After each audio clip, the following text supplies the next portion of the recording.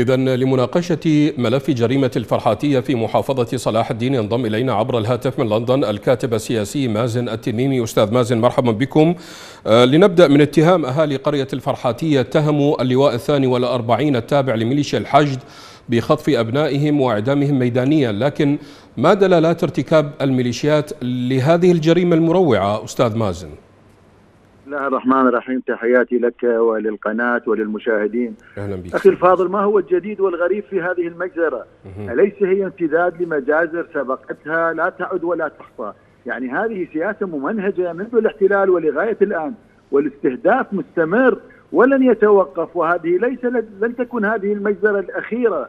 طالما هناك إصابات وميليشيات صفوية من تقود آه، الحكومة في المنطقة الخضراء وهذه هي جريمة آه، بشعة بكل المقاييس لأنه ممنهجة وهناك غطاء رسمي وفر لهذه الميليشيات أن تقوم بهذا العمل بدليل هناك أجهزة ووحدة أمنية موجودة ومن خلال الوحدة الأمنية استطاعوا أن يصلوا إلى إلى سكن هؤلاء نعم. فكانت العملية منظمة وممنهجة وهذا الاستهداف الذي تقوم به هذه الميليشيات هو لتنفيذ لأوامر إيران من أجل أن تقوم بترحيل هذه المناطق ومثل ما حصل بالسابق لأجل أن تسكن ناس آخرين وهذا هو الهدف والديدنة من هذه العملية. ولذلك هذه الميليشيات يعني لن تكتفي بهذه الجريمة لأنها الحقيقة ديدنها إنه أن تقوم بهذه العمليات باستمرار لأجل آه، آه،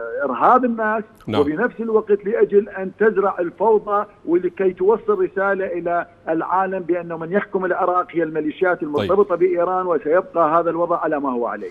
أستاذ مازن هناك اعتراف لمحافظ صلاح الدين عمار جبر خليل يقول بأن هناك قوة ترتدي زيا عسكريا آه، معروفة على الأرض هي المسؤولة عن هذه الجريمة وفي ذلك إشارة واضحة إلى ميليشيا الحشد آه، تعتقد أن هناك تواطؤ حكومي في ارتكاب هذه المجزرة أستاذ مازن؟ بلا شك من يوفر الغطاء والمظلة لهذه الميليشيات هي الحكومة المتمثلة بالأجهزة الأمنية المتواجدة في هذه الساحات وفي هذه المناطق ولذلك لن تجرأ ميليشيا أن تقوم بهذا الفعل لو لم يكن هناك تنسيق وتتعاون من بينها وبين هذه الأجهزة، وبعدين إحنا ليش نستغرب؟ معظم الأجهزة وحتى الجيش آه، جزء كبير منه مرتبط بالميليشيات وجزء كبير من من هذه من هذه العناصر العسكرية تخضع بالمطلق إلى إلى قيادات الميليشيات، فبالتالي نعم هذه العملية مرتبة ومنظمة ومتفق عليها، وبدليل يعني ذوي المغدورين عندما وصل رئيس ما يسمى آه، حكومة العراق قدموا نعم. له أسماء الذين ارتكبوا الجريمة طيب. وتحديدا حتى أعطوا آه، آه، أرقام السيارات اللي قامت بهذه العملية فبالتالي الجرم مشهود وبالتالي هؤلاء لا يعني لا يخشون من من من العقاب لأنهم يعرفون جيدا هم هم الذين يقودون السلطة وهم الذين القوة على الأرض وحتى عملية محاكمتهم لن تحصل لأنه الحشد استحدث محكمة خاصة بالحشد فلذلك أي جريمة ترتكب يتهم بها الحشد يجب أن يحول الملف إلى محكمة الحشد وهي من تتخذ الإجراءات ولذلك حاميها حراميها والكاظمي الرجل رئيس نعم. وزراء لشؤون التعزية لا أكثر ولا أقل طيب. هذا هو دور في هذا المفصل آه، أستاذ مازن يعني الكاظمي طالب بانتظار إكمال التحقيقات قبل إصدار الأحكام بشأن مجزرة الفرحاتية هل يمكن التعويل على نتائج هذه التحقيقات في أخذ حق هؤلاء الضحايا؟ منذ الاحتلال ولغاية الآن لو نسوي جرد إحصائي للجان التحقيقات م. التي شكلت بارتكاب الجرائم تقدر بأكثر من 25 ألف لجنة تحقيقية، أين هي نتائجها؟ الكاظمي مضى عليه ستة أشهر وصار 22 لجنة تحقيقية شكل، أين هي نتائج هذه اللجان؟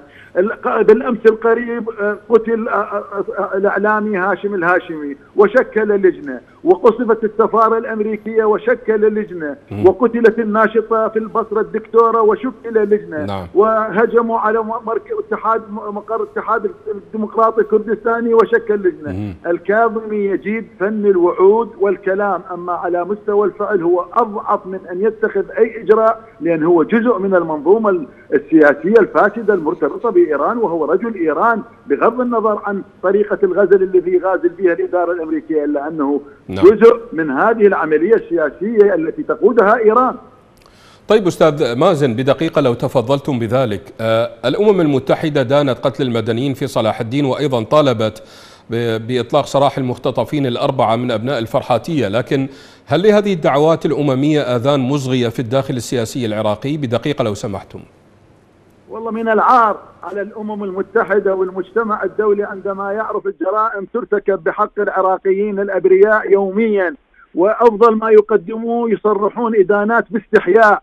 إنه ندين ونشجب وعلى الحكومة. وهناك سلسلة من الجرائم ارتكبت ومناشدات من قبل المجتمع الدولي والأمم المتحدة. كلها ضربت أرض الحائط، هذا دليل على أنه المجتمع الدولي والأمم المتحدة والولايات المتحدة الأمريكية ومجلس الأمن متواطئ مع هذه العملية السياسية ومع هؤلاء العملاء وهم من جاءوا بهم إلى سدة الحكم. ولذلك لا نترجى لا من الأمم المتحدة وقبل قبل أيام ممثلة الأمم المتحدة تشرعن عمل عمل الميليشيات عندما تزور أحد قيادات الحشد وأكبر مجرم على على ارتكاب جرائم بحق العراقيين فعن أي أمم متحدة نتحدث. هؤلاء كيل مكيالين يقول من معظمهم. من لندن الكاتب السياسي مازن التميمي شكرا جزيلا لكم